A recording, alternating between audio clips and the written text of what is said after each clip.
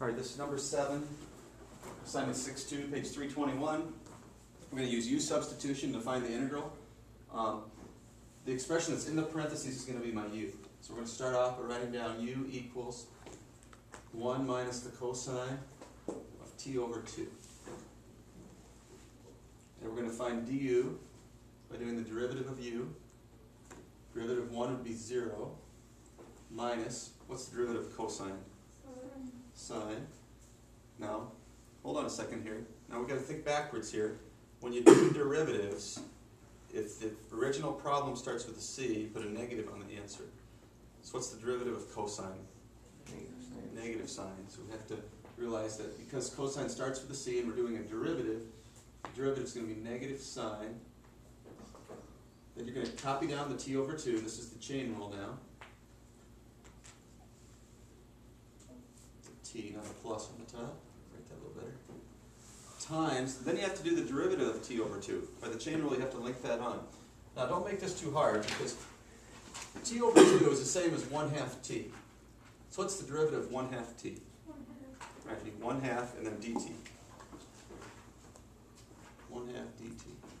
So my du ends up being a negative of a negative, so it's going to be positive sine of t over 2 times 1 half dt. That's what I need to get right there. I need to get my du right there. So what number do I have to put in here that I don't have right now? I need a half. So there's a half in my du, I don't see a half here. If I put a half in here, what number do I have to put out front? Two, if it's reciprocal. So now I can make my substitution. For this entire expression here, I'm gonna change that to du. I guess I don't need parentheses to change that to du here. So this whole thing here is equal to du. What am I gonna substitute in for one minus the cosine of t has? That's what u equals. Yeah, u equals one minus cosine of t has. We could just call that u squared, couldn't we?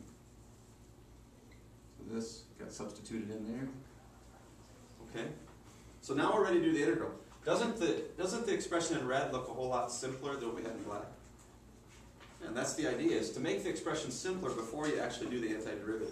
So you don't have to try to do the antiderivative on some really complicated expression. So now this isn't hard because I'm going to make this ex exponent 1 bigger, so it's going to be u to the 3 halves, or excuse me, u to the cube. And what number is going to go up front? Um, 2 divided by 3, so 2 thirds plus c. My integral, calculated, or it's my answer to my integral, I should say. Now all we have to do now is substitute back in our t expression in place of u. So my final answer is going to be this.